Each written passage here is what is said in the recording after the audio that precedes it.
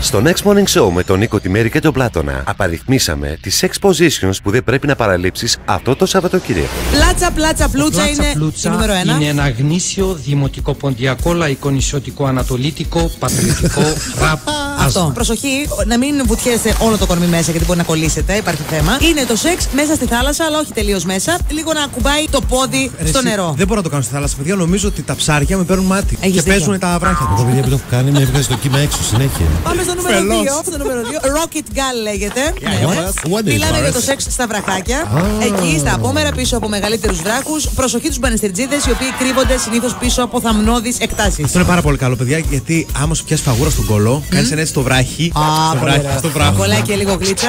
Μια χαρά. ξύνεσαι. Πάμε στο νούμερο 3 που είναι η αμμουδέρα. Είναι το σεξ στην αμμουδιά, στην παραλία. Προσοχή πάρα πολύ. Αν δεν πάτε κατευθείαν να κάνετε ένα ντουζάκι, μην κολλήσει η άμμος στα μαλλιά και στο υπόλοιπο κορμί και είστε σαν αμμοβολή. Και στο τέλος της λες και ένα Τι άμμο.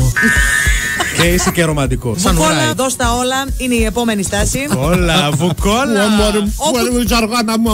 Όπου κόμε ωμέγα παρακαλώ στο Ναι. βουκόλα. Ναι, ναι. Ε, Κάνεις σεξ σε παραδοσιακούς ε, Ξενώνες. οικισμούς, ξενώνες και μέρη της υπαίθρου. Και κλείνουμε με το Air Condition Sex Exhibition. Α, μ' αρέσει αυτό. Βάζεις το air condition στους μείον 15 βαθμούς Κελσίου μέσα στο σπίτι. Οπότε με το που θα μπει το ε, έτερον σου ήμιση, το γυναικείο έτερον σου ήμιση, για τους άντρες δεν ισχύει αυτό, καταλαβαίνεις πως έχει εξάψεις και μ, ε, δημιουργείται μια αίσθηση.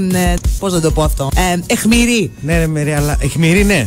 Ε, ο άντρας όμως, Ο το άντρας- κρύο έρχεται και γίνεται ζαρόνι. Ε, ο άντρας δεν μας ενδιαφέρει. Την βάζεις πρώτο στο δωμάτιο, εχμηρή αίσθηση και μετά την πας κάτω στα, στα θερμά. Μπορείς να το γυρίσεις μετά το air condition στους 40. Έτσι, μπράβο. μπράβο. Τέλεια. Κρύο ζέστη.